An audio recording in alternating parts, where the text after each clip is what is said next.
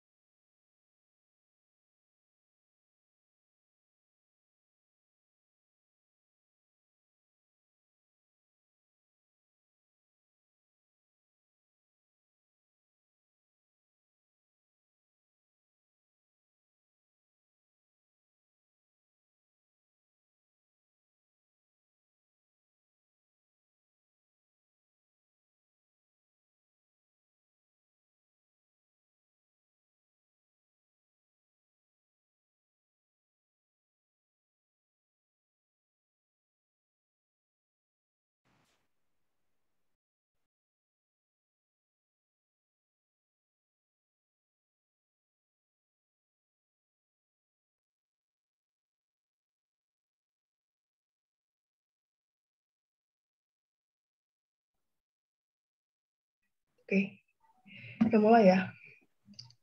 Jadi hari ini kita bakal bahas tentang struktur dan fungsi tumbuhan.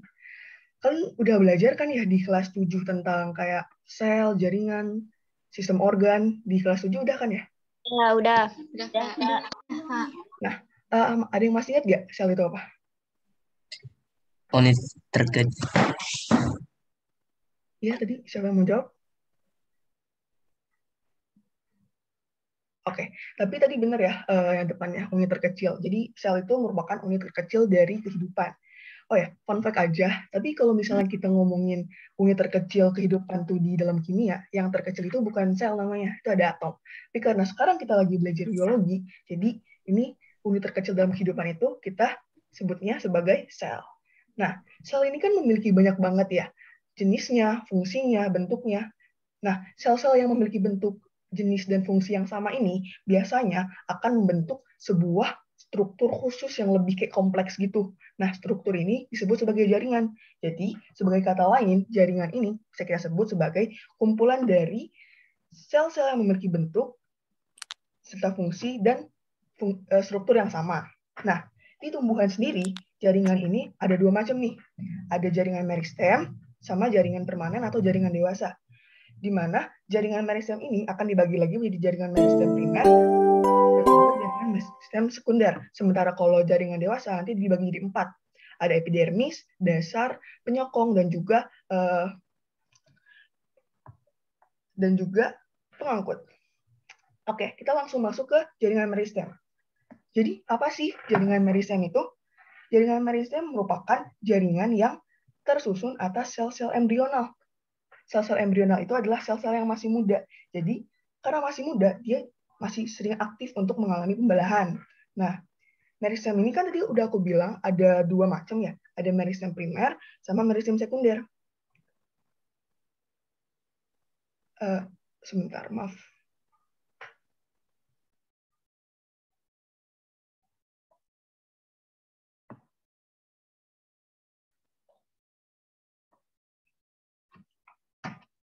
Uh, Sebentar ya, aku ada masalah sama device yang ini.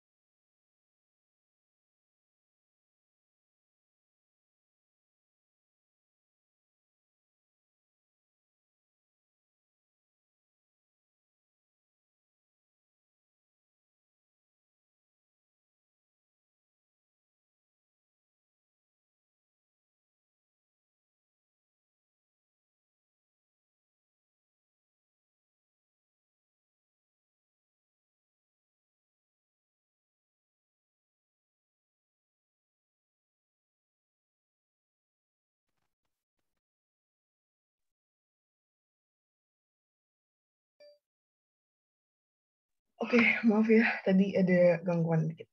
Jadi balik lagi, meristem primer. Meristem primer itu merupakan um, jaringan meristem yang berfungsi untuk proses pemanjangan pada tumbuhan. Nah, karena fungsinya itu adalah proses pemanjangan, jadi letaknya itu ada di ujung batang dan di ujung akar. Aduh, maaf. Dan di ujung akar.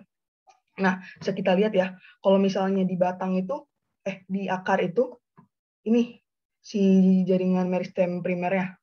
Sementara kalau di daun yang ini nih di ujungnya. Oke, kita lanjut ke meristem sekunder. Kalau di meristem sekunder, dia itu hanya terdapat pada tumbuhan dikotil dan juga gymnospermae. Meristem sekunder ini contohnya itu kambium dan kambium gabus. Dan Fungsi dari meristem sekunder ini adalah melakukan proses pelebaran. Kita lanjut ke jaringan permanen atau dewasa.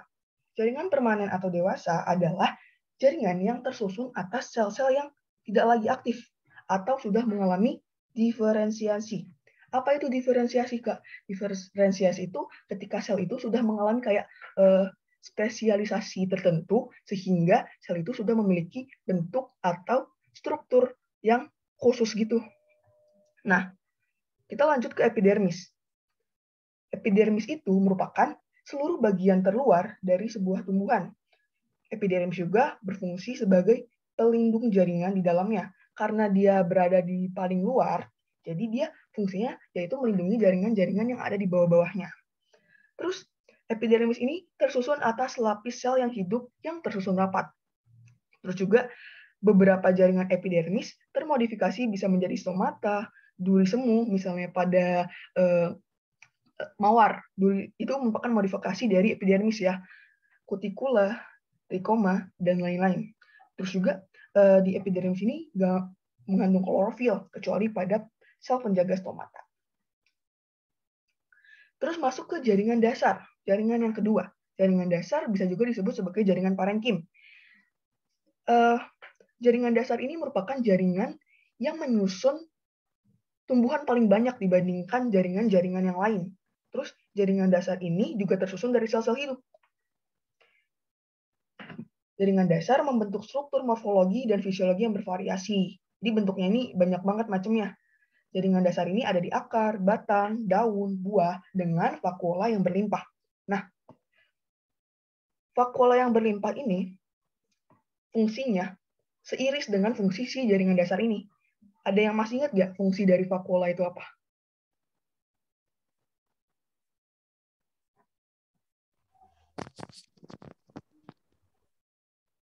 Nggak ada? Oke, nggak apa-apa. Jadi vakuola itu fungsinya untuk menyimpan cadangan makanan, air, dan juga udara. Air dan udara. Nah, di jaringan dasar ini, ruang antar selnya tuh tidak terlalu rapat, dan juga pada dinding sel yang telah menebal terdapat celah yang namanya plasmodesmata. Nah, nanti celah plasmodesmata ini akan berkaitan dengan yang namanya pengangkutan ekstravaskuler. Apa itu pengangkutan ekstravaskuler? Eh, pengangkutan ekstravaskuler itu adalah pengangkutan yang terjadi di luar dari jaringan pengangkut. Ini bakal kita lebih bahas di jaringan pengangkut. Nah, Jaringan dasar ini juga sebagian memiliki klorofil. Misalnya jaringan yang memiliki klorofil itu parenkim palisade dan juga parenkim spons. Oh ya, um, yang memiliki klorofil itu disebutnya sebagai klorenkim ya. Ini adalah uh, parenkim yang berklorofil. Nah, ini juga salah satu contoh bentuk dari parenkim pada padi. Yang ini. Oke. Sampai sini ada yang mau ditanyain? Enggak ada, Kak. Enggak ada, Kak. Oke, aku lanjut ya. Yang ketiga itu ada yang namanya jaringan penyokong. Di jaringan penyokong ini mempunyai fungsi untuk menguatkan tubuh dari tumbuhan. Nah, jaringan penyokong ini ada dua. Ada yang namanya kolenkim, ada yang namanya sklerenkim. Nah, bedanya apa Kak antara kolenkim sama sklerenkim? Kalau kolenkim itu dia tersusun atas sel-sel hidup. Kalau sklerenkim dia itu tersusun atas sel-sel yang udah mati. Dan juga pada kolenkim dia menyokongnya tuh tumbuhan muda. Sementara kalau sklerenkim dia menyokongnya tumbuhan yang udah tua. Terus perbedaan selanjutnya adalah kalau kolenkim itu um, dia terjadi penebalan di bagian-bagian sudutnya doang. Nanti ada gambarnya kok. Sementara kalau di sklerentim itu, dia menebalnya di seluruh bagian dinding. Nah, ini yang aku bilang tadi.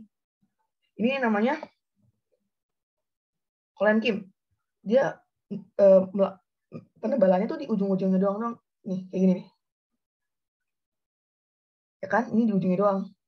Ini namanya kolenkim. Kalau yang misalnya sklerenkim, sklerenkim ini penebalannya tuh cenderung lebih merata di seluruh bagian dinding sel.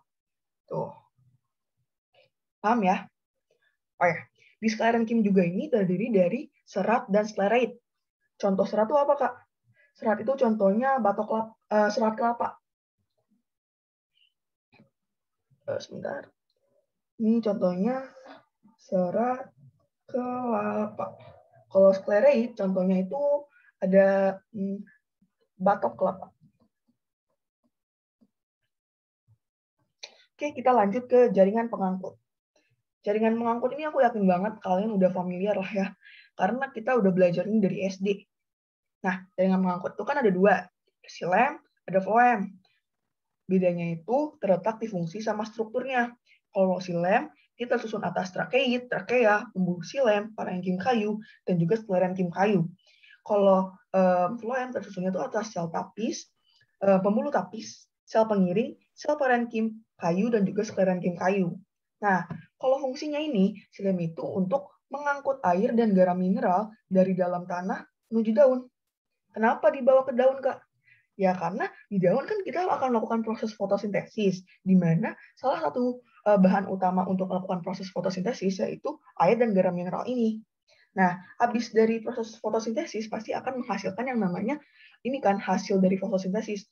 Nah, hasilnya itu akan disebarkan ke seluruh bagian-bagian tumbuhan oleh si floem ini. Ini mengangkut zat hasil fotosintesis ke seluruh bagian tubuh tumbuhan. Oh iya, eh, ini ada yang belum aku tulis, tapi sebentar. Nih,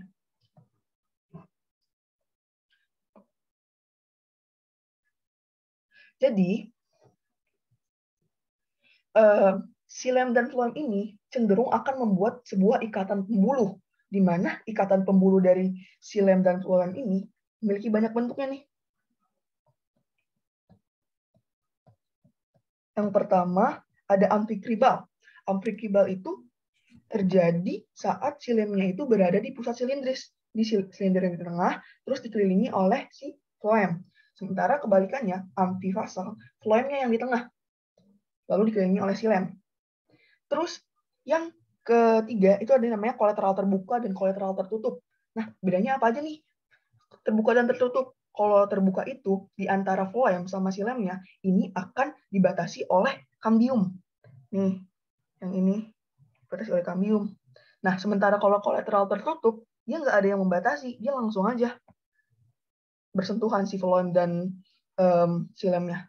Nah, ini tuh si kolateral terbuka ini merupakan salah satu ciri-ciri dari tumbuhan apa? Ada yang tahu nggak? Yang ada kambiumnya? Gak ada? Enggak, Kak. Dikotil. Ini merupakan salah satu uh, ciri-ciri dari tumbuhan dikotil, sementara yang di bawah ini monokotil. Nah, terus selanjutnya ada yang juga yang namanya ikatan pembuluh bikolateral. Nah, kalau ikatan pembuluh bikolateral ini itu terjadi ketika si floem ini mengapit silem. Jadi silem itu ada di tengah-tengah si floem. Terus yang selanjutnya ada yang namanya radial atau lingkaran. Nah, ini tuh um, contohnya ada di akar tumbuhan dikotil. Di akar tumbuhan dikotil, uh, yang berbentuk sebagai bintang ini, ya, itu namanya silem. Sementara yang di luar-luarnya ini, ini, ini phloem.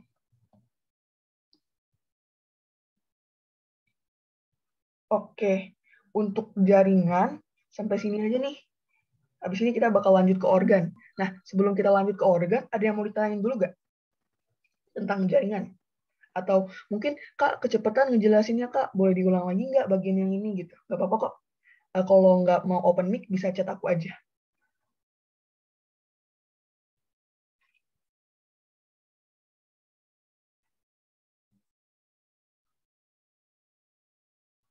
Aman ya? Aku lanjut ya. Ya, Kak. Ya, Kak.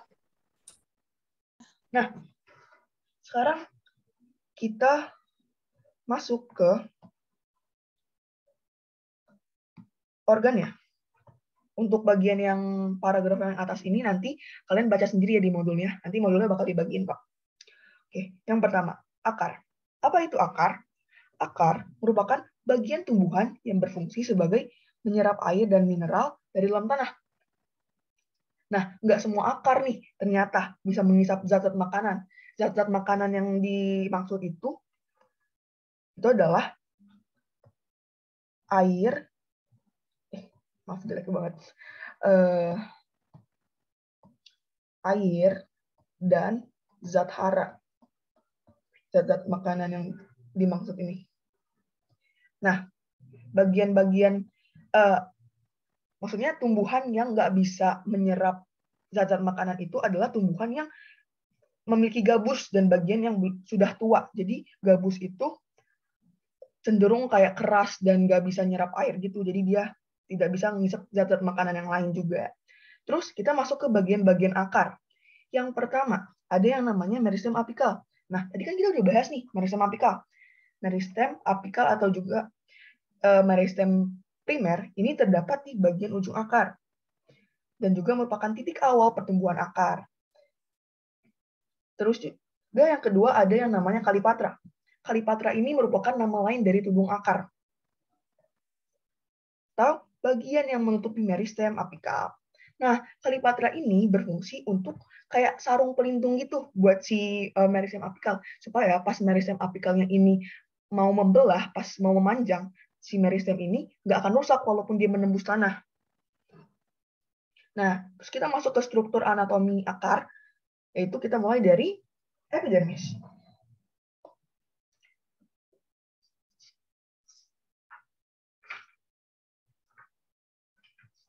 Nah, epidermis merupakan bagian terluar dari akar. Namanya juga lapisan luar ya. Jadi pasti dia udah terletaknya di paling luar. Nah, epidermis ini terdiri dari dinding dinding yang tipis. Nah, kenapa dinding-dindingnya tipis? Itu karena untuk memudahkan memudahkan air serta mineral untuk masuk ke dalam korteks. Jadi dari korteks baru dilanjutin sampai ke silinder pusat. Nah, di epidermis ini juga bisa mengalami um, mod modifikasi. Jadi epidermis ini di akar bisa mengalami modifikasi menjadi rambut-rambut akar.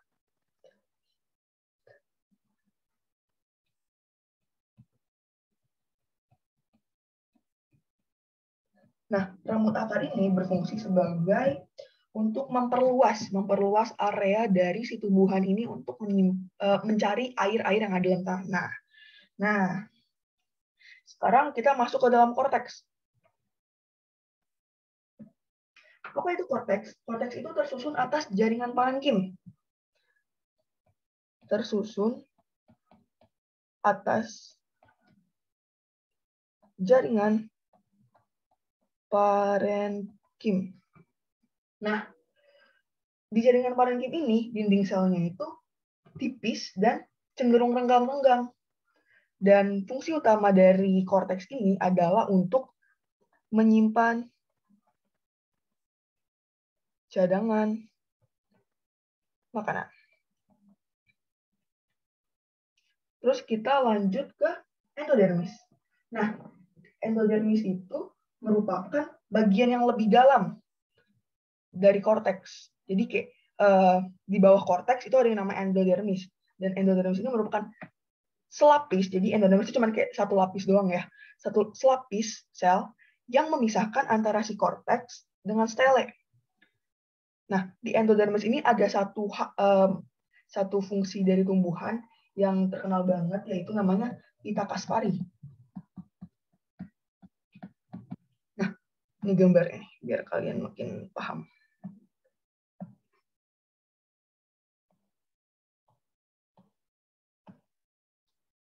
Nih, ini namanya pita kaspari. Jadi um, di endodermis itu, selnya itu kan berbentuknya tuh kotak-kotak nih.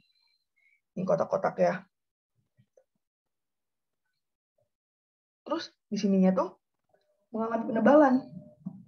Nah, penebal karena mengalami penebalan inilah dia ini berfungsi sebagai uh, mengatur jalur masuk mineral ke dalam akar. Dan yang terakhir, yang paling dalam, itu ada yang namanya stele. Di dalam stele ini ada beberapa strukturnya. Yang pertama itu ada yang namanya perisikel, terus ada jaringan peng pengangkut, terus ada juga yang namanya parenkim empulur.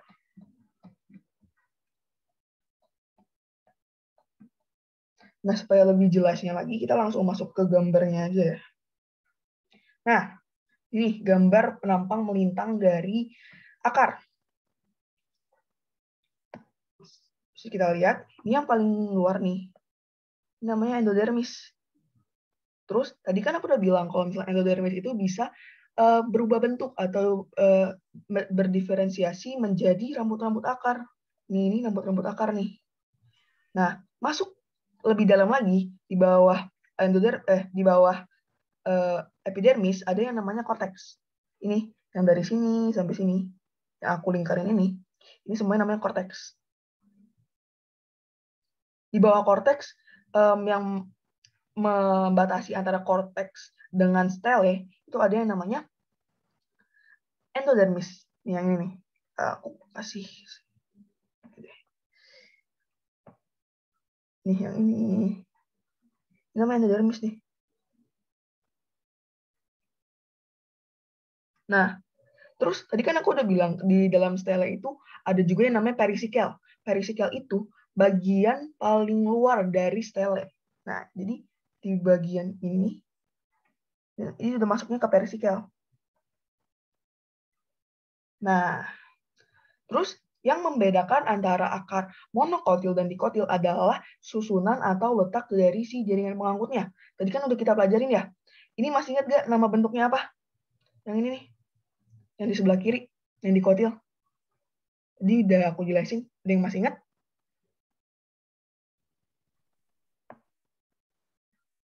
Gak apa-apa. Uh, ya, Esther, apa jawabannya? Um, kolateral terbuka bukan, Kak? Uh, kurang tepat, tapi nggak apa-apa. Ini namanya radial. Jadi yang melingkar gini namanya radial. Dan yang juga ada di akar namanya radial ya. Aku ingetin lagi, radial. Nah, di radial, eh di radial, di uh, akar dikotil ini, yang bentuknya kayak bintang, aku ingetin lagi, itu adalah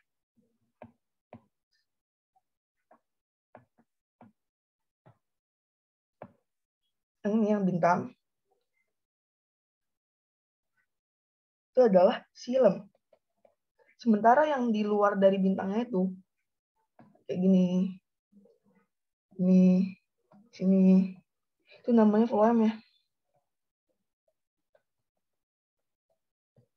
Nah, sementara kalau di um, tumbuh di akar monokotil, jadi nggak ada perbedaan bentuk khusus gitu antara sisilen sama phloemnya. Jadi dia benar-benar kayak bebas aja bentuknya. Oke? Okay? Nah, sekarang kita masuk ke fungsi akar. Fungsi akar yang pertama adalah untuk menyerap air dan zat mineral dari dalam tanah. Ini fungsi utamanya ya. Terus juga akar juga berfungsi untuk mengangkut air serta zat-zat makanan ke seluruh tubuh tumbuhan. Yang ketiga untuk menunjang dan juga memperkokoh berdirinya tumbuhan terus juga menyimpan cadangan makanan, dan juga sebagai alat perkembangan vegetatif. Ini um, cadangan makanan ini contohnya itu umbi akar ya, kayak wortel dan lain-lain. Terus uh, alat perkembangan vegetatif itu contohnya stek daun. Ini udah dipelajarin kan ya minggu lalu atau beberapa minggu yang lalu tentang perkembangan biang biakan vegetatif ini. Eh, stek daun, maksud aku stek akar.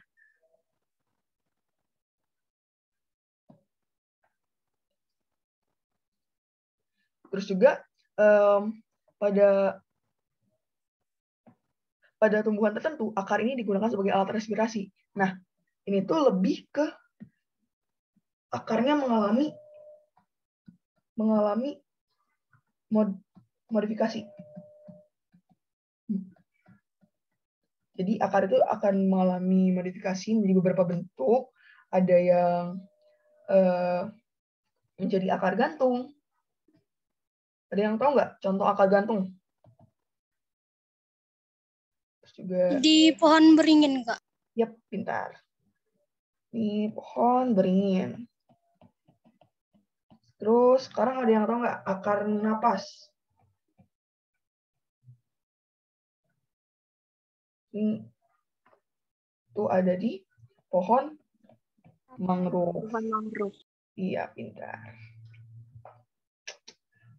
Sampai sini udah jelas? Ada yang mau ditanyain sebelum kita pindah ke Batang? Enggak, mau nanya. Jelas, Kak. Iya, siapa yang mau nanya tadi? Aku, Kak. Oh ya, Grace silakan. Alat respirasi itu apa? Alat respirasi itu alat pernapasan. Respirasi itu kata lain dari pernapasan ya. Apa udah jelas? Udah. Oke. Kita lanjut ke batang. Jadi di batang itu adalah bagian dari tumbuhan yang berada di atas tanah dan juga memiliki fungsi sebagai pendukung bagian-bagian tumbuhan lainnya kayak daun, bunga dan buah itu kan tempelnya di batang semua ya. Nah, batang ini ternyata nggak cuma ada di bawah tanah loh, ada juga batang yang eh maksudnya nggak nggak cuma ada yang di atas tanah batang-batang. Soalnya kan kita kan biasanya ngelihatnya tuh batang pohon mangga, pohon jeruk gitu-gitu di atas semua ya. Ternyata ada juga nih batang yang berada di bawah tanah. Nah, batang yang di bawah tanah ini biasanya berfungsi untuk menyimpan cadangan makanan. Contohnya tanaman jahe. Oke, sekarang kita masuk ke um, susunan dari sistem jaringan pada batang. Yang pertama, epidermis. Nah, di epidermis ini, di epidermis pada batang, itu nggak jauh beda sama epidermis pada akar yang tadi sebelumnya. Sama-sama berada di paling luar dan berfungsi untuk melindungi eh, jaringan-jaringan uh, yang ada di bawah-bawahnya. Tapi ada yang unik nih di epidermis batang. Ada apa tuh, Kak?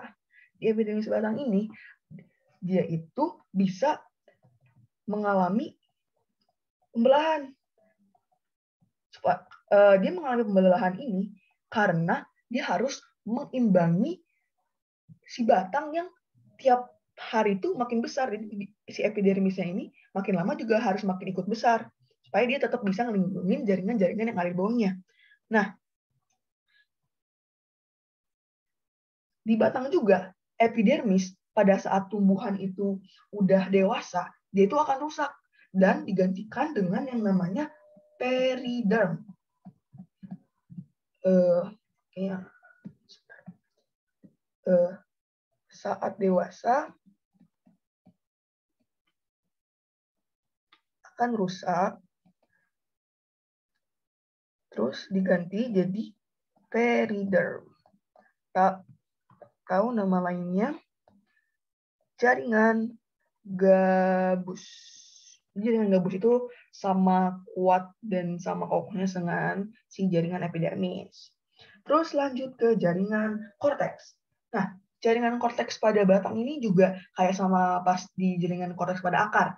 Dia sama-sama terdiri dari jaringan parenkim. Jaringan parenkim.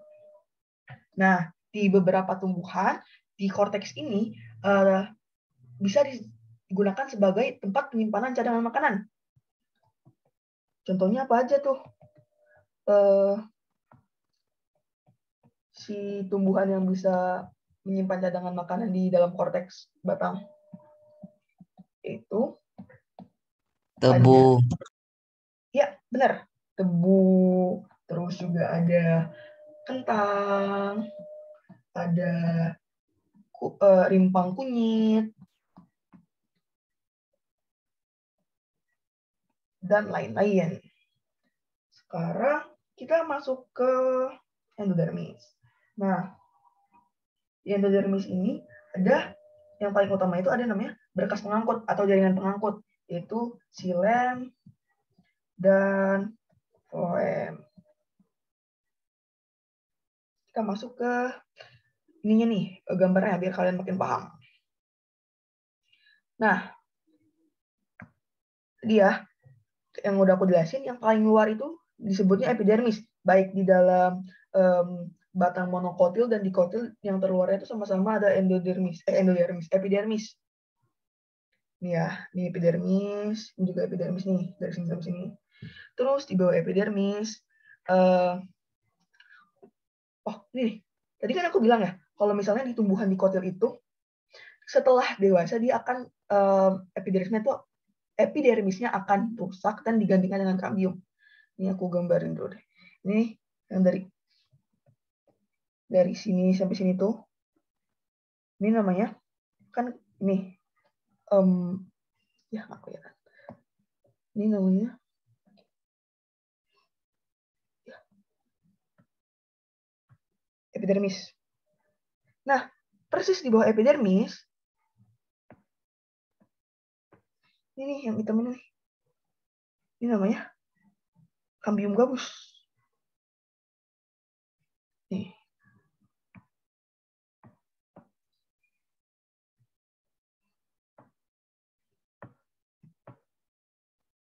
kambium gabus. Jadi nanti si pas epidermisnya hilang, langsung digantiin sama si kambium gabusnya ini.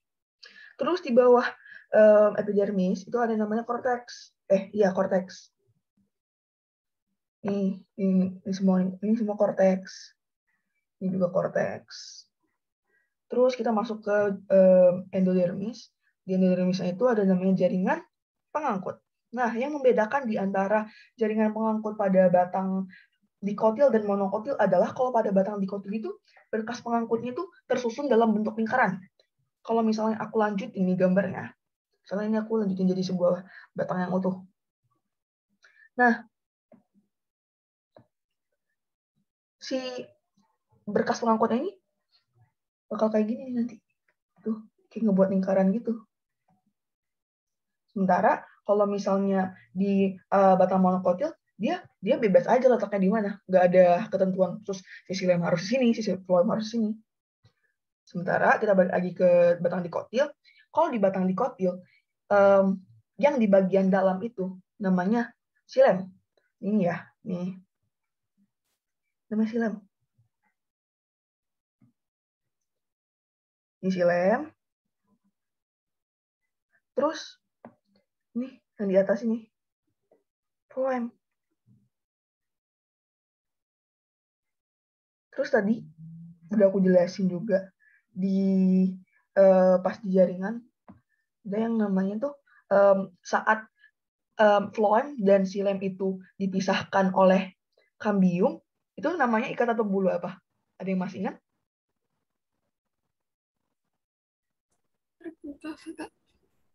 Uh, apa maaf kurang jelas suaranya.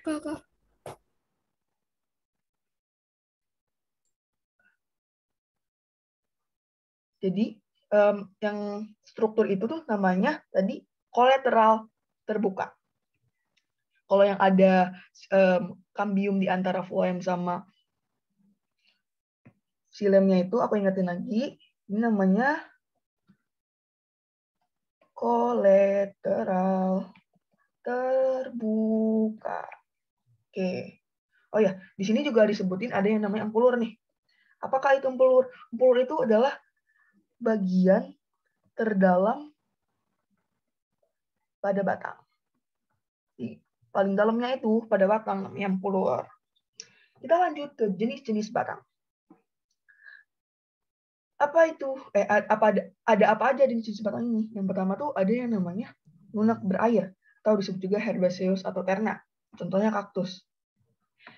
Nah, ini uh, pengetahuan aja sih.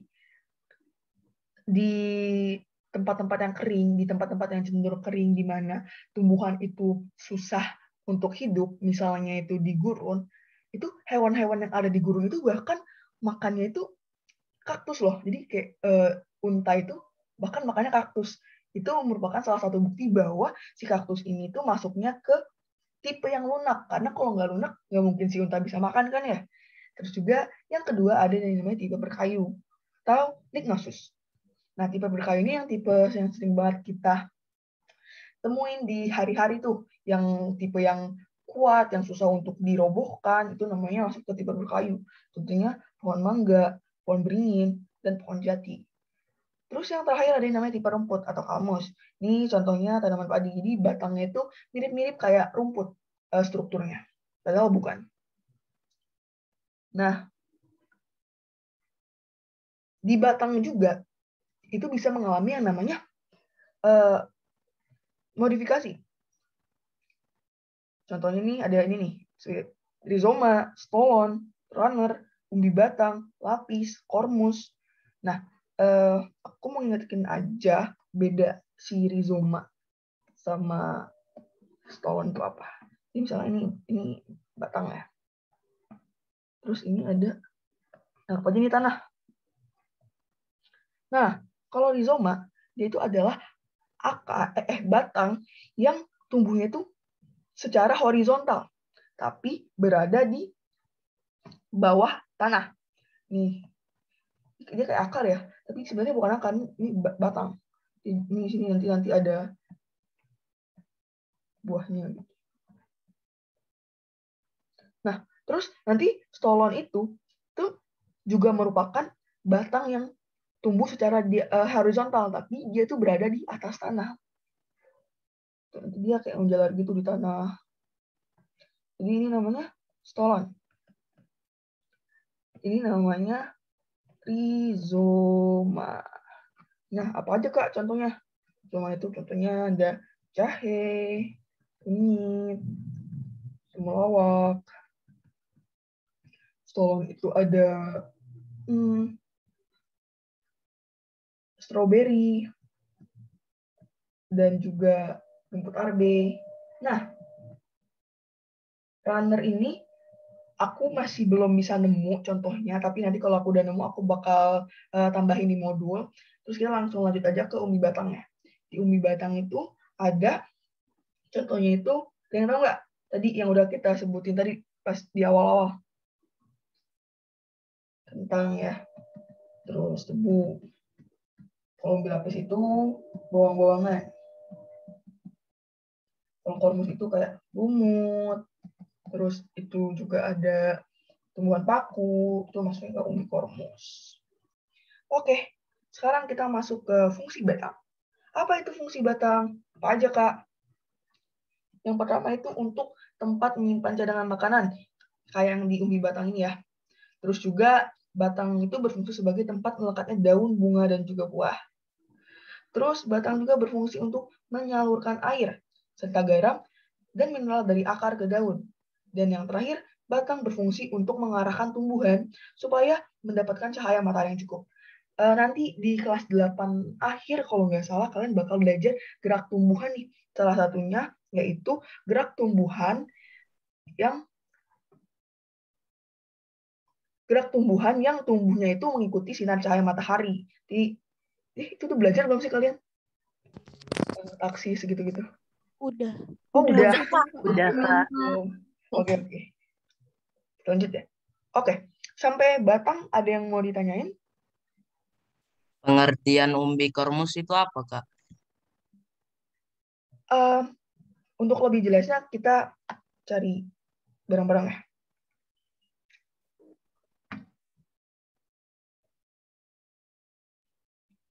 Aku juga baru dengar kormus. Nih, itu tuh salah satu bentuk modifikasi batang yang pangkal batangnya itu terdapat di bawah permukaan yang membengkak berdaging padat dan diliputi oleh selaput tipis pada nodus-nodusnya. Hmm, coba kita lihat gambarnya ya.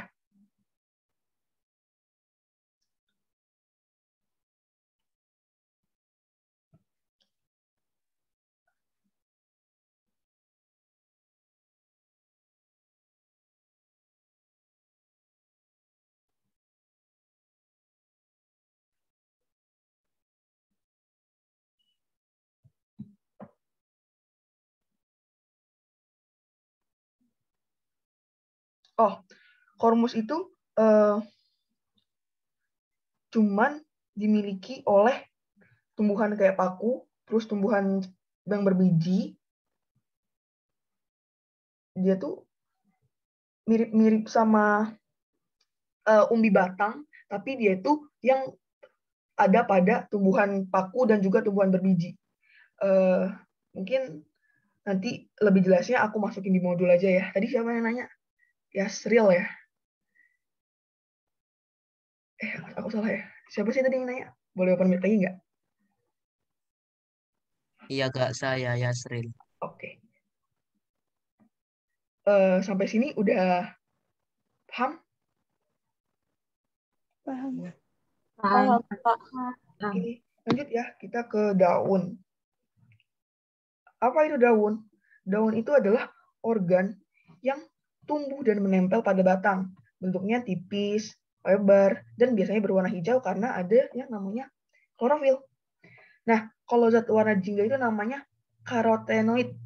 Itu biasanya yang ditemuin di uh, mortel. Terus yang warna kuning namanya tinin. Itu zat yang ada pada war zat yang ada pada tumbuhan kunyit. Makanya kunyit itu bisa warna kuning. Dan juga zat warna merah itu adalah um, nama lainnya itu zat antosianin. Itu contohnya beetroot kalau kalian tahu. Buah beetroot. Nah, kita langsung masuk aja ke struktur daun. Nih, kita mulai dari yang paling pangkal ya. Yang menghubungkan antara batang utama dan juga daun pada keseluruhan itu namanya tangkai daun. Ini namanya tangkai daun. Terus si um, apa ya namanya nih tulang utama daunnya yang dari sini sampai sini itu namanya pelepah. Jadi kalau misalnya kita ibaratin sama akar tunggang, akar utamanya itu disebut pelepah. Dan juga nanti kan ada cabang-cabang kecil lainnya ya. Kayak gini, ini, ini.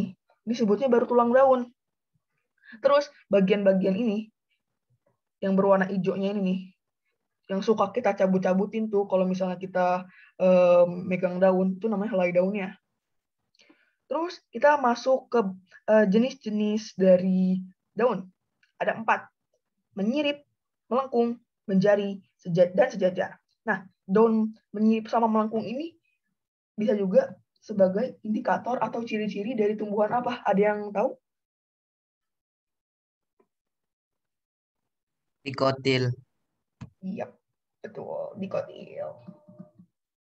Dan berarti sisanya dia merupakan monokotil. Nah, kita lihat lagi. Contoh daun mirip itu ada eh, daun mangga, jambu, nangka, rambutan, dan kacang-kacangan. Nah, kenapa dia disebut mirip itu karena benar-benar kayak sirip ikan gitu loh. Terus bedanya menyirip sama melengkung itu ada di tulang daunnya. Kalau tulang daun dari daun melengkung itu tulang daunnya juga ikutan melengkung ya. Kayak gini nih. Ini melengkung semua nih. Nih. Kalau menyirip itu lebih kayak ya lurus aja yang kayak gini. Tuh. Terus daun melengkung ini contohnya tuh ada daun sirih yang paling terkenal ya. Daun sirih, genjer, dan daun eceng gondok. Terus daun menjari. Kenapa disebut daun menjari? Ya karena ini udah jelas banget ya mirip jari manusia tuh kayak ada lima jari gitu. Dan itu biasanya yang paling terkenal dari contoh daun menjari itu ada yang namanya daun upaya. Sisanya itu ada singkong, jarak, timun, daun labu, dan lain-lain. Terus daun sejajar. Daun sejajar itu daun sejajar itu itu bener-bener kayak yang sejajar gitu loh. Misalnya ini selain sejajar sama yang ini gitu. Contohnya the daun tebu, jagung, padi, dan semua jenis-jenis rumput. Sekarang kita masuk ke um, bagian penampang melimpangnya ya. Oke, jadi di um, daun itu bagian paling terluarnya itu juga tetap ada yang namanya epidermis. Nah, kalau di daun ini ada ada atas dan bawahnya. Ini ini epidermis atas, yang ini epidermis bawah. Fungsinya juga tetap sama untuk melindungi jaringan-jaringan yang ada dalam bawahnya. Tapi ada yang unik nih dengan struktur daun. Apa itu? Nah, di daun ini, di beberapa doang ya, tapi nggak di semua seluruh tumbuhan, itu ada yang lebih di atas putih. Ada yang lebih di atas dari epidermis. Ada yang lebih luar dibandingin epidermis. Ada yang namanya nih kutikula. Ini bagian yang um, kayak um, kubus, eh bukan kubus, balok transparan ini dari sini sampai sini semua. Itu namanya kutikula di bawah juga ada nih kutikula apakah itu kutikula kutikula itu semacam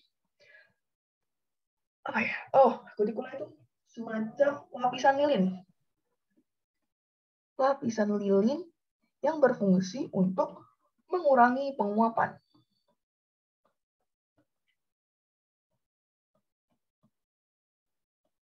Nah, Terus kita masuk lagi ke epidermis atas ya. Di epidermis atas itu bisa mengalami yang namanya modifikasi. Jadi apa aja tuh si epidermis ini? Di epidermis ini bisa mengalami modifikasi menjadi stomata, terus juga sisik, dan namanya itu ada rambut-rambut. Oh ya, ngomong-ngomong tentang stomata. Ada yang tahu nggak fungsi dari stomata itu apa? Tempat pertukaran udara dan transpirasi. Iya, seru banget. Keren, keren. Nah, tadi aku lupa bilang ya, um, tempat pertukaran udara kalau di batang itu ada juga, tapi bukan stomata, namanya lentin cell. Ingat ya, lentin cell. Itu kayak stomata, tapi di bagian batangnya. Nah, ada um, fun fact dikit nih tentang stomata. Jadi stomata itu kan berfungsi untuk um, pertukaran udara ya. Jadi di tumbuhan-tumbuhan pada umumnya stomata ini bisa membuka dan menutupkan. Di tumbuhan-tumbuhan pada umumnya stomata ini membukanya itu pada siang hari karena yaitu membutuhkan CO2 kan. CO2 ini e, digunakan untuk bahan utama dari proses fotosintesis. Jadi dia ngebukanya itu pada siang hari karena pada siang hari itu kan banyak banget ya CO2 CO2 yang ada di dalam udara karena itu banyak dari asap kendaraan, dari e, terus dari pabrik dan lain-lain gitu. Tapi ada yang unik nih dari tumbuhan-tumbuhan yang hidupnya di tempat kering. Jadi dia itu ngebukanya bukan di siang hari. Kenapa nggak di siang hari? Karena kalau dia ngebukanya di siang hari, itu bakal malah kehilangan banyak banget um, cadangan air yang ada dalam tubuh mereka. Jadi mereka tuh uh, kayak kakus itu ngebukanya itu stomatanya itu pada malam hari dibandingin pada siang hari. Ya, kita lanjut ke uh, bagian selanjutnya. Di bawah epidermis itu ada yang namanya ini, yang seragam-seragam semua nih. Nih. Ini namanya parenkim palisade. Nah, yang bintik-bintik ini, ini namanya klorofil. Nih, kasih tanda deh. Klorofil.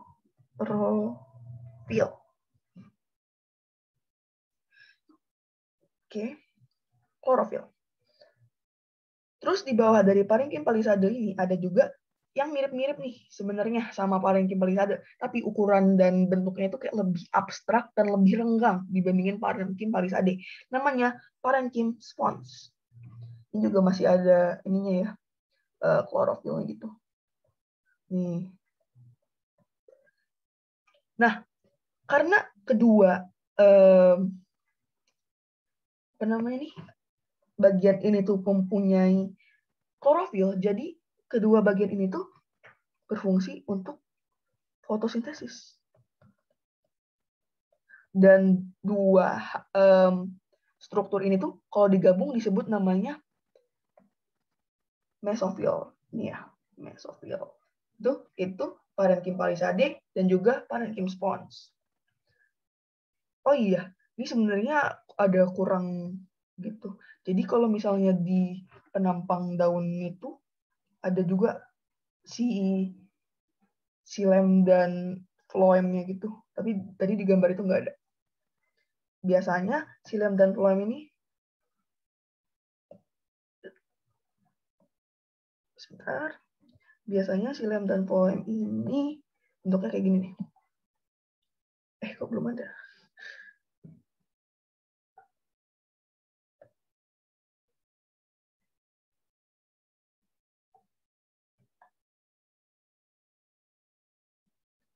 Hmm, kok ada ya? Ini dari sini aja. Nah, itu tuh kalian lihat nggak? Yang ini, yang bulatan ini. Ini itu adalah jaringan pengangkut.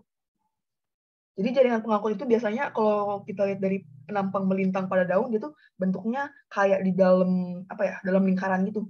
Terus eh, yang di atas itu biasanya silen dan yang di bawah itu floem. Jadi kalau misalnya aku gambarin misalnya gini misalnya di sini ada kayak hmm, tambahan gitu ya. Gini ya.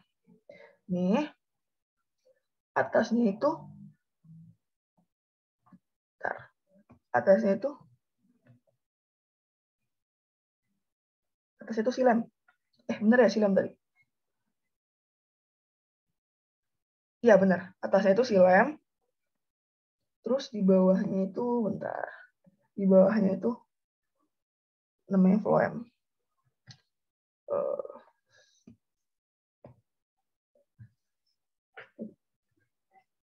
silen phloem. Oke deh, kita lanjut ke fungsi daun pada tumbuhan. Fungsi yang pertama dan yang paling utama yaitu melakukan yang namanya fotosintesis. Daun juga berfungsi sebagai organ pernapasan karena tadi adanya si stomata. Nah, karena adanya stomata ini juga, um, jadi di daun ini bisa menjadi tempat terjadinya penguapan air. Dan yang terakhir, daun ini bisa jadi untuk alat perkembangbiakan tumbuhan, yaitu alat perkembangbiakan vegetatif. Contohnya itu kayak stek daun gitu. sampai daun. Ada yang mau tanya enggak? Nggak ada, Kak. Tidak. Enggak ada ya. Aku lanjut ke bunga. Sebentar. Bunga. Jadi bunga itu merupakan modifikasi dari suatu tunas yang bentuk, warna, dan susunannya disesuaikan dengan kebutuhan tumbuhan. Nah, bunga ini cenderung memiliki warna yang menarik, baunya harum, bentuknya macam-macam, dan mengandung nektar. Kenapa? Karena bunga ini mau menarik perhatian serangga agak atau hewan-hewan lain agar mereka itu maaf, agar mereka itu mau datang ke bunga itu dan membantu proses penyerbukan pada bunga. Karena pada bunga ini terjadi proses perkembangbiakan generatif atau proses melalui perkawinan. Nah, bunga itu dibagi menjadi empat. Ada yang namanya bunga biseksual, bunga uniseksual, jantan, dan betina. bunga biseksual, eh, biseksual ini biasanya lebih dikenal dengan bunga sempurna ya. Nah, kalau bunga uniseksual itu berarti kebalikannya bunga tidak sempurna. Apa sih sempurna dan tidak sempurna? Kalau sempurna itu berarti dia dalam satu bunga itu memiliki dua-dua dari kelamin yang ada. Misalnya kayak eh, dari benang sari dan putik eh, di bunga itu ada dua-duanya. Itu merupakan bunga sempurna. Kalau nggak kalau bunga yang tidak sempurna itu cuma memiliki salah satu di antara si benang sari atau putik. Terus juga ada yang namanya bunga jantan. Nah, tadi itu lanjutan dari yang bunga tidak sempurna nih ya. Kalau bunga tidak sempurnanya hanya memiliki uh, benang sarinya aja, itu berarti dia jantan. Kalau bunga yang betina itu berarti dia memiliki putiknya aja. Dan ini ada tambahan juga. Kalau misalnya uh, ada bunga lengkap dan tidak lengkap. Bunga lengkap. Bunga tidak lengkap. Nah, kalau bunga lengkap itu berarti bunga yang seluruh eh, bagian bunga itu lengkap dari mahkotanya, kun, kun, apa sih kuncup bunganya, benang sari, putik itu semuanya lengkap. Kalau tidak lengkap berarti ada salah satu yang tidak ada dalam bunga tersebut. Kita lanjut aja ke gambarnya. Nih, kita bedah satu-satu ya. Yang pertama ini ada yang namanya yang besar ini, yang satu berdiri di tengah. Namanya putik. Kalau kita eh, bedah jadi beberapa bagian, putik ini, sebentar. Yang di atasnya ini ada kepala putik. Ini, ini tangkainya. Terus yang di bawahnya ini di dasar. Itu adalah bakal eh, bakal biji. Terus masuk ke uh, struktur selanjutnya ada yang namanya benang sari. Oh ya, tadi putik ini fungsinya untuk sebagai alat kelamin betina. Terus kita masuk ke benang sari. Nih, ini satu kesatuan ini namanya benang sari. Terus kalau kita bedah lagi kayak si putik tadi, ini kepalanya disebut kepala sari dan bawahnya disebut tangkai sari. Ini fungsinya untuk alat kelamin jantan. Oh ya, ini pro tips aja ya buat kalian yang masih suka bingung. Ih, yang mana sih yang betina, yang mana sih yang jantan? Kalau aku sih dulu ya pas aku SMP aku ngingetinnya gini. Kalau yang ada yang namanya sari, itu biasanya perempuan kan. Tapi kalau di tumbuhan itu kebalikannya. Berarti yang ada sari-sarinya itu berarti jantannya. Dan juga berarti kalau kita udah hafal yang sari itu jantan, berarti kita langsung otomatis tahu dong kalau putih itu betina. Dan juga kalau misalnya kalian itu suka lupa nih mana sih kak yang um, bagian yang putih yang benang sari. Aku dulunya suka, aku dulu tuh ingetnya gini. Uh, biasanya yang cuman satu tapi dikejar banyak orang itu kan cewek ya. Jadi yang satu sendirian di sini nih, aku nganggapnya sebagai cewek. Dan yang ini yang kepala sari eh benang sari benang saring itu adalah cowok-cowok yang mau mengejar. Ini ini proaktif aja ya. Kalian bisa pakai uh, cara kalian sendiri untuk menghafal uh, bagian-bagian tumbuhan eh bagian bunga ini. Terus kita masuk ke uh, mahkotanya. Mahkota bunga itu uh, bagian yang biasanya tuh warna-warnanya tuh mencolok banget ya. Misalnya kalau di mawar itu bagian yang warna merahnya itu yang namanya mahkota bunga. Terus ada juga namanya kelopak. Nih, kalau aku gambarin, misalnya ini tuh adalah bunga. Anggap aja ini bunga. Maaf ya, aku nggak bisa gambar, guys. Ini, ini bunga. Bunga yang masih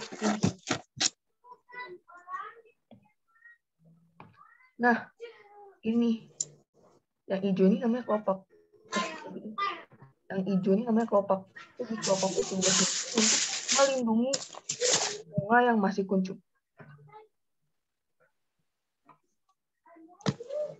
Uh, sebentar.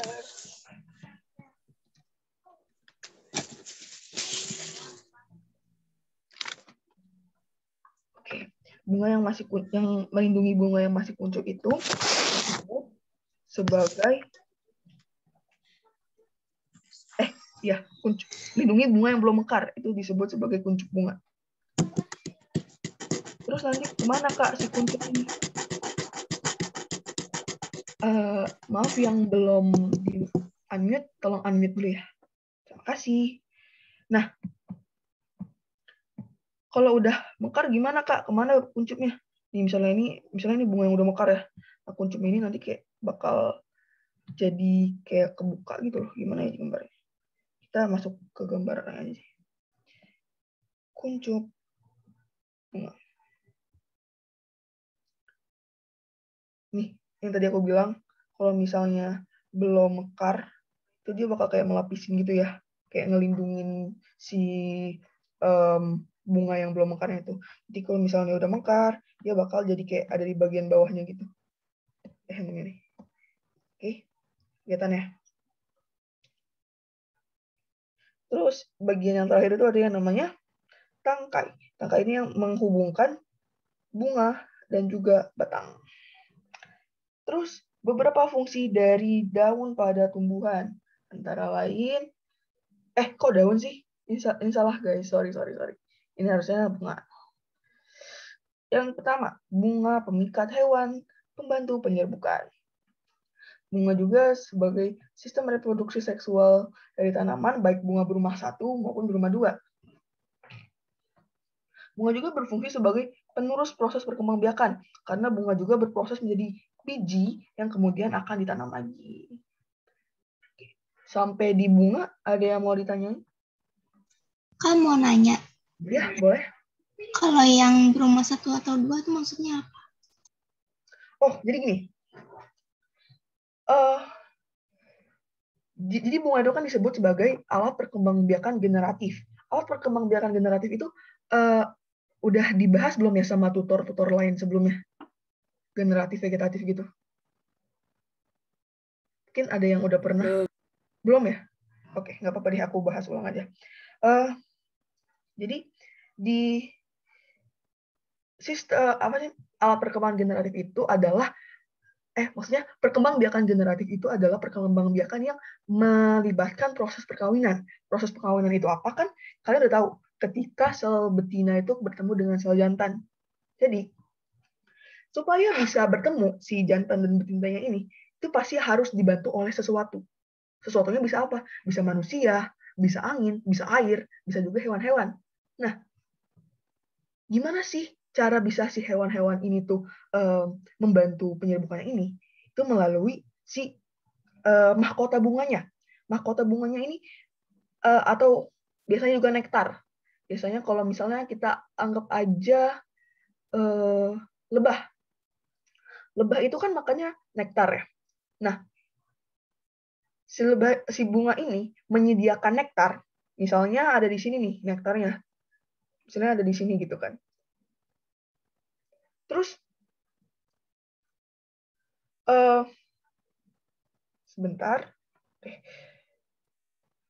Jadi um, lebah itu bakal datang dan hinggap di salah satu si di kepala putik ini. Nah di kepala putik ini nanti kalau dia emang lagi apa ya kayak kalau lagi dalam pros dalam keadaan di mana dia mengeluarkan si ovum ini, misalnya ovumnya keluar nih terus eh nggak kelihatan maaf misalnya, misalnya ini ada ovumnya udah awalnya kan dari sini nih tapi um, karena proses satu, satu dan dua hal tertentu, itu bisa keluar gitu loh si ovumnya. Nih, sampai ke atas. bisa kayak jatuh gitu. Nah, ih, bentar deh. Ini kayak terlalu berantakan, maaf. Eh, kita ulang dari awal. Eh, sebentar, sebentar. Kok jadi...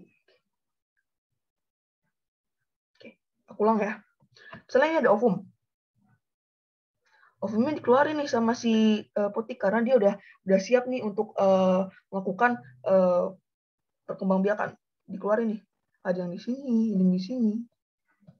Terus tiba-tiba lebah datang lebah datang karena mau mengambil uh, nektar yang ada dalam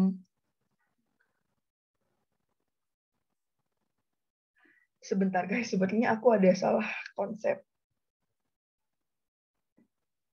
Oke, jadi aku kembali. Maaf ya, ini aku udah lupa-lupa ingat soalnya sama pelajaran ini, sudah lama. Jadi yang benar itu, maaf ya, aku minta maaf sekali lagi. Jadi lebahnya itu bakal uh, menghinggap di sini nih, kaki. Misalnya, misalnya ini lebah, ini kaki-kakinya. Terus nanti dia ini ada serbuk-serbuk sari yang nempel di kaki lebah. Nih, nempel gitu.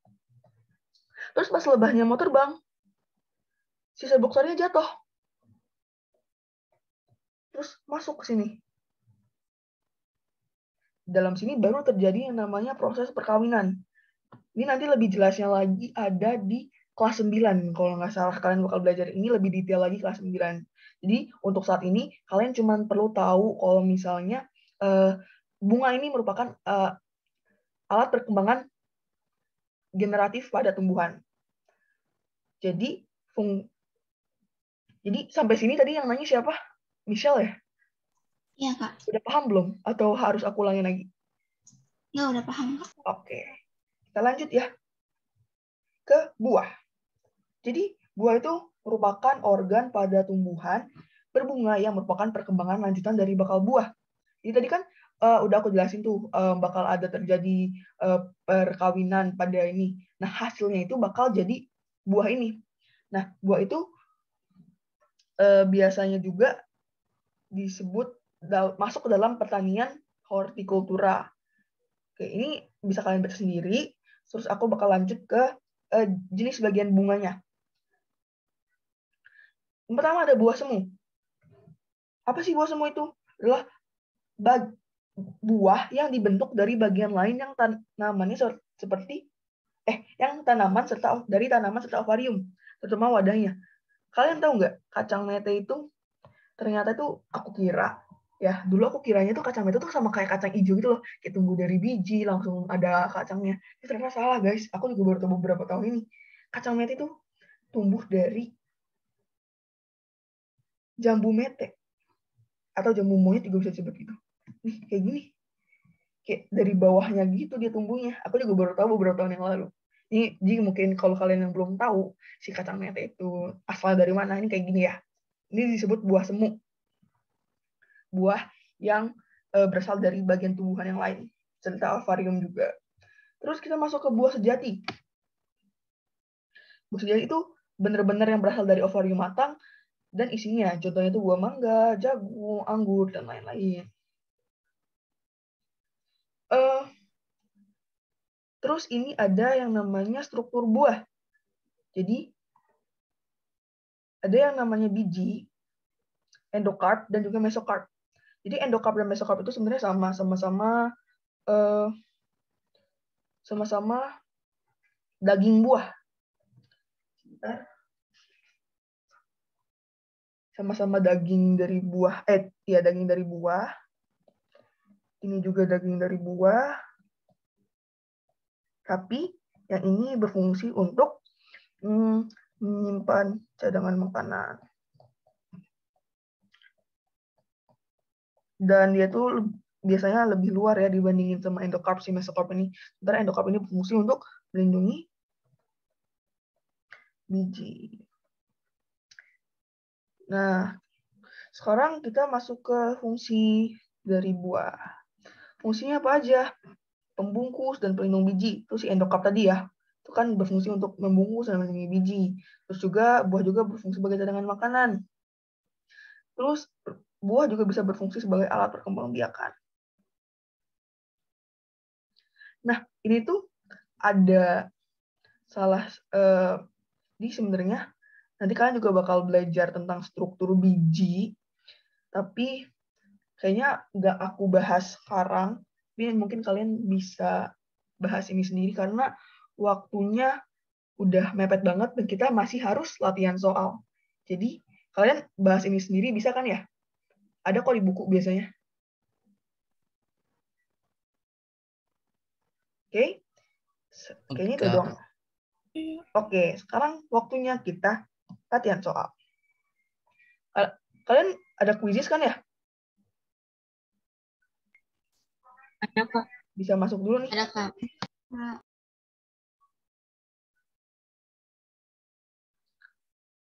Oke.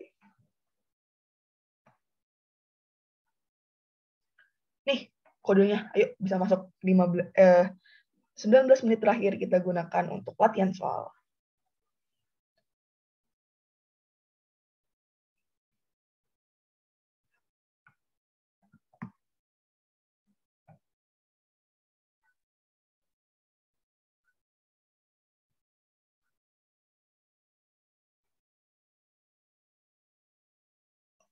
Linknya. Oke, sebentar ya. Aku kirimin di grup Telegram.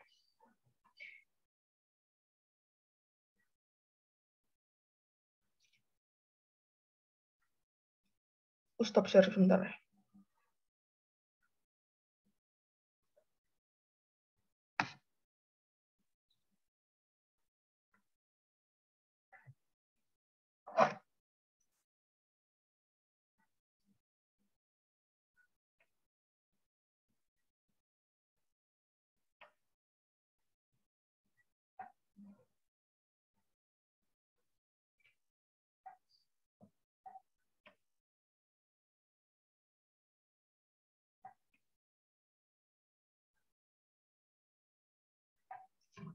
Buat yang mau pakai link itu link quizisnya udah aku kirim di grup Telegram ya.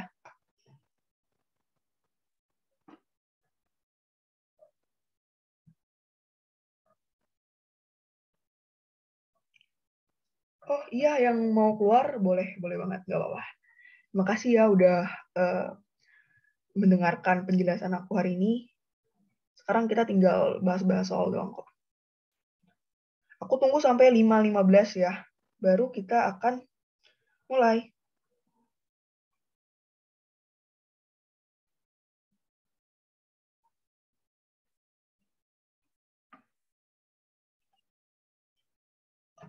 Oh, kode kuisisnya sebentar. Aku share kode.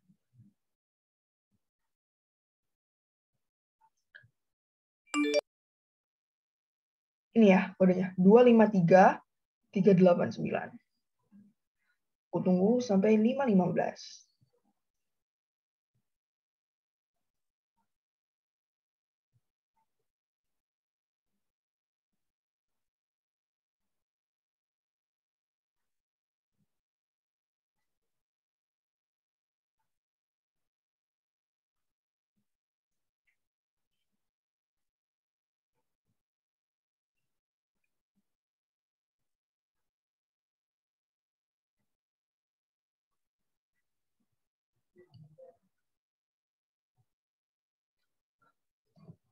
Ada sekitar 10 orang lagi nih. 9 yang belum masuk. Ayo, aku tunggu.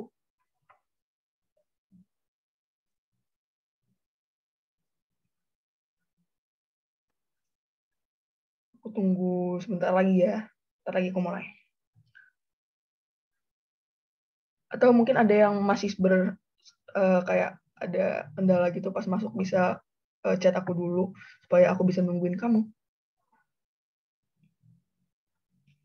Kalau nggak ada, mulai ya. Oke.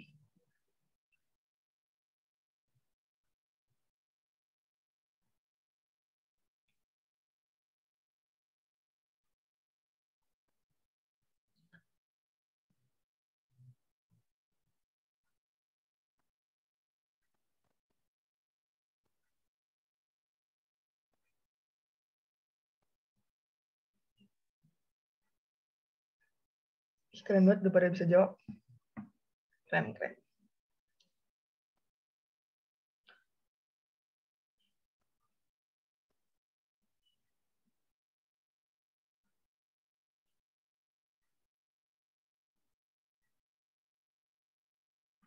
Oke. Jadi jawaban yang tepat adalah epidermis. Nah, tadi kan udah aku jelasin ya, kalau misalnya epidermis ini bisa termodifikasi menjadi rambut atau bulu akar, di mana rambut atau bulu akar ini berfungsi sebagai um, untuk memperluas area penyerapan air pada tanaman. Oke, kita melanjut ke next question.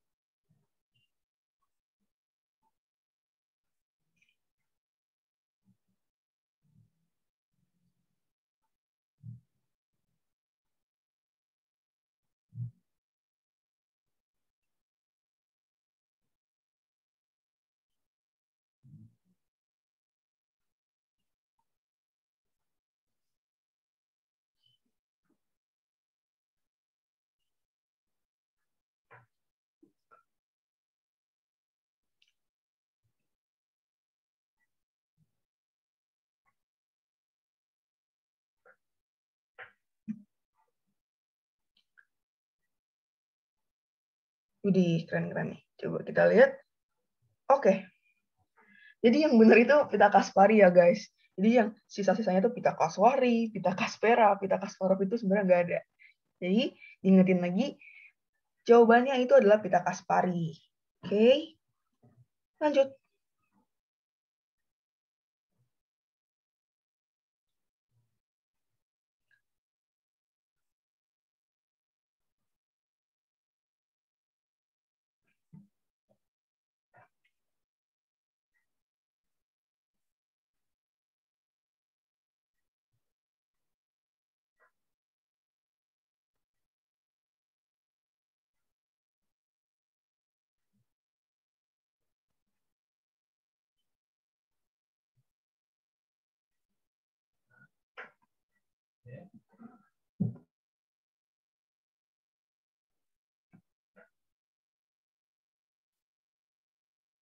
Oke.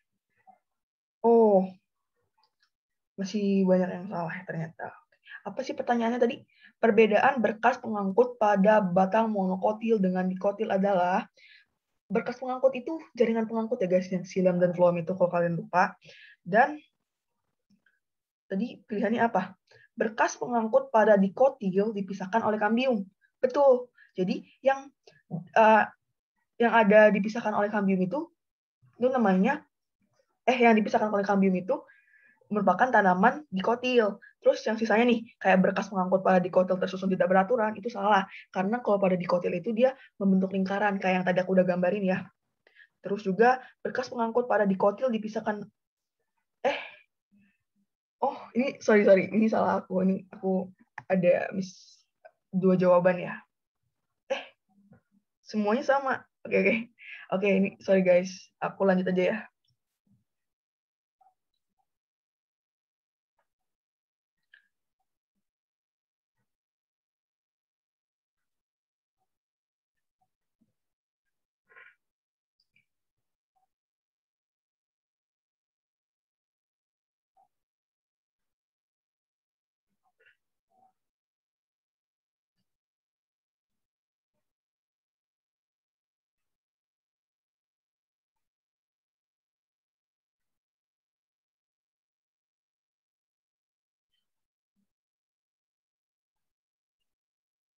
Oke. Okay.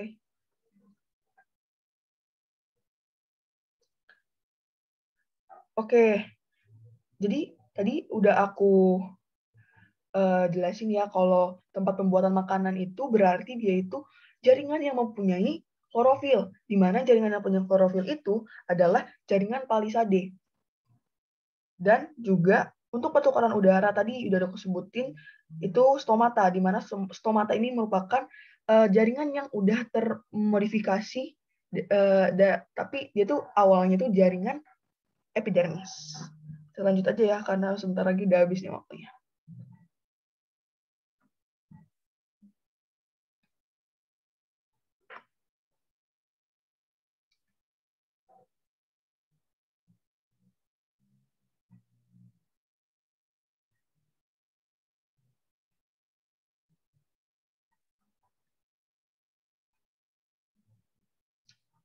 Yuk, 10 detik lagi waktunya. 5, 4, 3, 2, 1.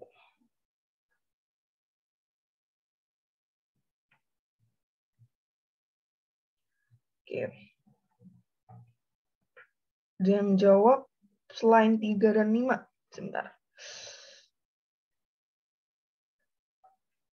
Jadi yang benar itu 3 dan 5 ya. Jadi 4 itu bukan termasuk uh, jaringan pengangkut, tapi 4 itu adalah kambium. Jadi aku ingetin lagi, jaringan pengangkut itu adalah yang nomor 3 dan nomor 5. 5 itu merupakan silem, 3 itu merupakan poem. 4 itu kambium. Kalau 2 itu namanya cortex.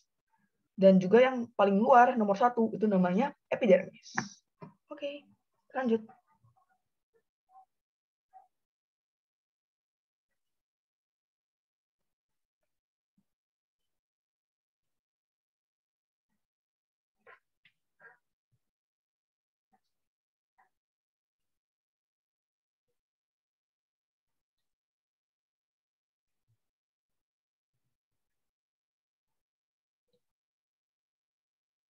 Yuk, 10 detik lagi. Yang belum jawab, bisa jawab. 3, 2, 1. Oke, kita lihat.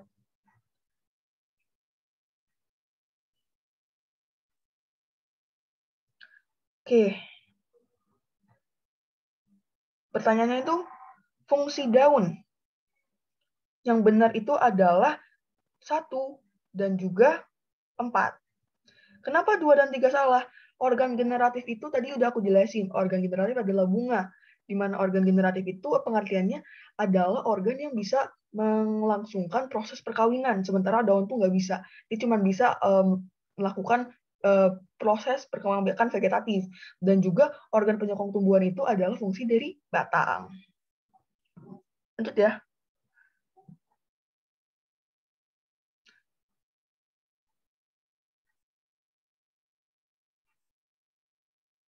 Ini pasti udah pada tahu semua nih.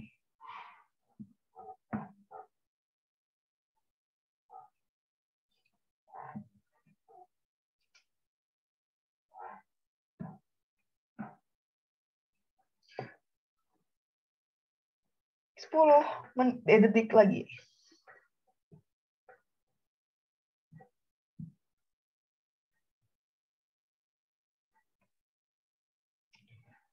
Oke. Okay.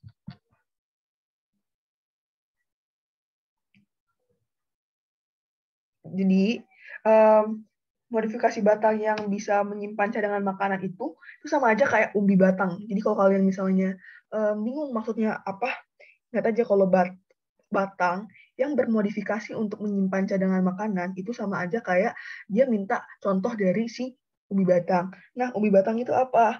Umbi batang itu contohnya si kentang. Lanjut ya.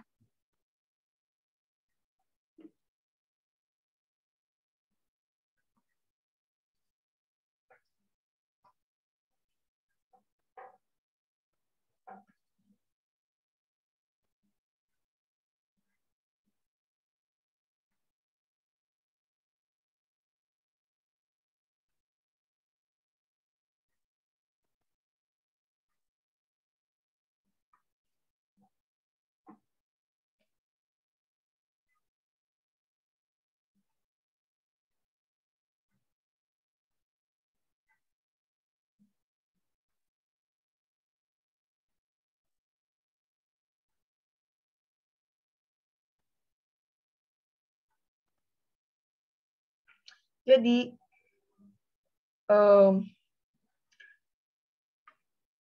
jawabannya itu yang jaringan palisade untuk berlangsung fotosintesis. Karena uh, daun itu fungsi utamanya kan untuk melakukan fotosintesis ya. Maksudnya kayak fungsi yang di bagian-bagian tumbuhan lain itu nggak punya itu di daun itu tempat berlangsungnya fotosintesis. Nah tempat berlangsungnya fotosintesis itu adalah uh, jaringan palisade lebih tepatnya ya dibandingkan kloroplas Oke, jadi kalau misalnya ada eh, soal kayak gini lagi, kalian udah bisa ya. Kita lanjut.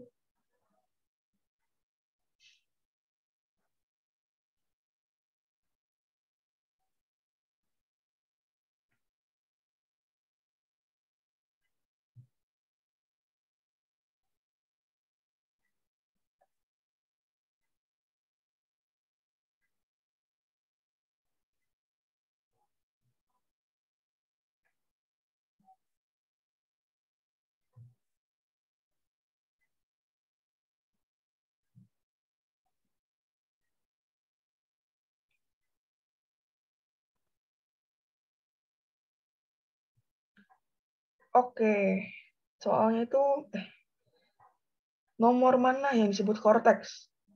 Oke, yang disebut korteks itu yang tiga. Kalau yang 6 sama 7 itu merupakan jaringan pengangkut, di mana 6 itu adalah silem, jadi yang di dalam itu silem, dan yang di uh, luarnya itu yang kayak cenderung lebih luar daripada silem itu, yang 7 itu merupakan floem. Kita lanjut dulu. Ini kalau nggak salah soal terakhir deh.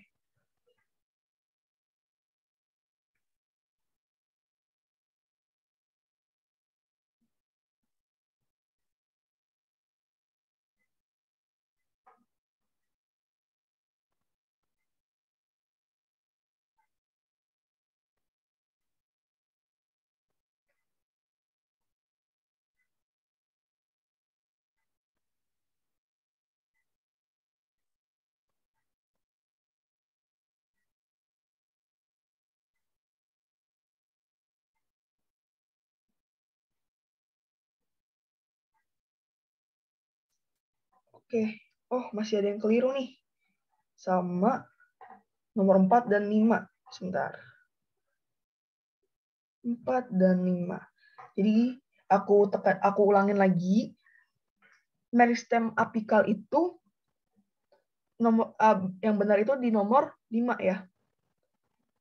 Nomor 4 itu tudung akar. Jadi inget ingetin yang paling ujung itu walaupun aku bilangnya meristem apikal itu terletak di ujung akar, tapi dia itu bukan yang di paling ujungnya.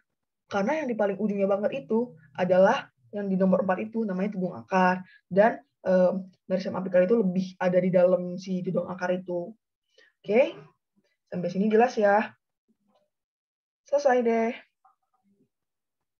Latihan soal kita hari ini.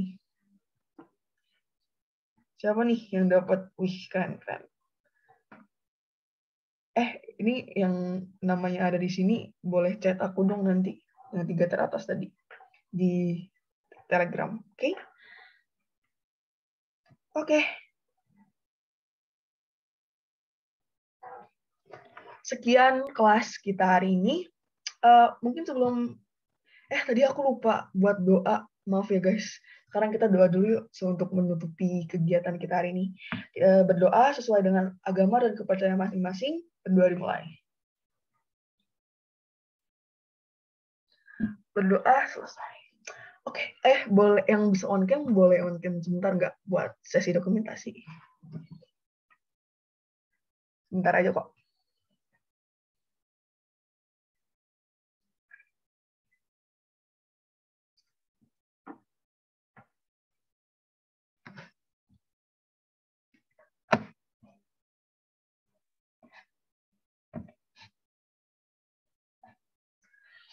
Oke, satu, dua,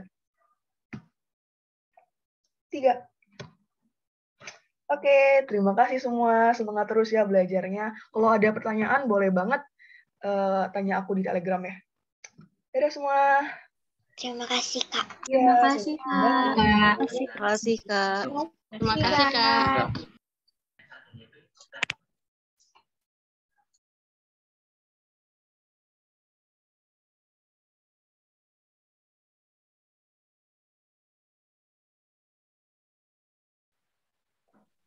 Nah, itu 31 plus 25 sama 31 kali 31 plus 25 yang mana ya? Eh, ini ini ini 9 guys. 9 9 9.